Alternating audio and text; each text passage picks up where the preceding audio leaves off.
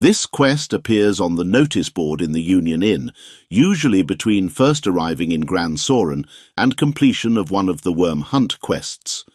Available after sufficiently increasing Eleanor's affinity and then getting to New Game Plus or switching to hard mode difficulty, as the quest is only available before meeting Eleanor. For this quest, you have to escort Eleanor to the healing spring located in the far regions of North Face Forest beyond the Blighted Manse. That's it. Thanks for watching. Like and subscribe for more videos.